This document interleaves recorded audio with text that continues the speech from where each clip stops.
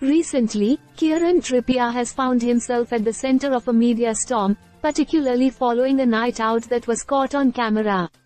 The Newcastle United defender was filmed enjoying a lively evening in a karaoke bar, where he was seen lifting a blonde woman, later identified as Frankie Carmichael, a 27-year-old call center worker from Newcastle.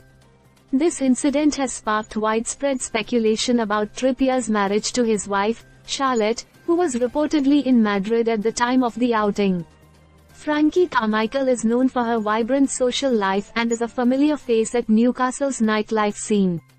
With a prominent tattoo on her left arm, she has quickly become a topic of discussion among fans and media alike. The video, which captured Trippier wrapping his arms around her waist, has fueled rumors about his marriage being on shaky ground. For some time now, Trippier's relationship with Charlotte has appeared strained. In September 2023, he had to postpone training with the England squad due to what was described as a personal commitment. This was soon followed by his withdrawal from a Euro qualifier match, further raising eyebrows. The couple, who wed in 2016 and shared three children, have reportedly been living increasingly separate lives. Charlotte has recently moved to a new home in Cheshire, taking their children with her and reportedly removing her wedding ring, indicating the depth of the marital troubles. This unfolding drama is not just about one incident but rather highlights the ongoing struggles within Trippier's marriage. Following the karaoke bar footage, Charlotte's absence from the 2024 Euros only intensified speculation about their relationship status. Observers noted her decision to take separate vacations, a move that many interpret as a sign of growing distance. While Kieran has been grappling with his personal life, his professional responsibilities continue to weigh heavily on him.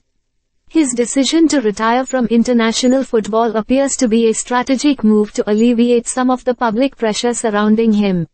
Sources close to Trippier indicate that stepping back from the England squad is part of his effort to focus on rebuilding his life amidst the turmoil. As fans and followers of football watch this story unfold, it remains to be seen how Kieran and Charlotte will navigate these choppy waters. The involvement of Frankie Carmichael has undoubtedly added a new layer to an already complex situation. The public's fascination with this marital riddle highlights how celebrity lives are often under a microscope, leaving little room for privacy or healing. In this ongoing saga, both Trippier and Carmichael are thrust into a spotlight they might not have anticipated.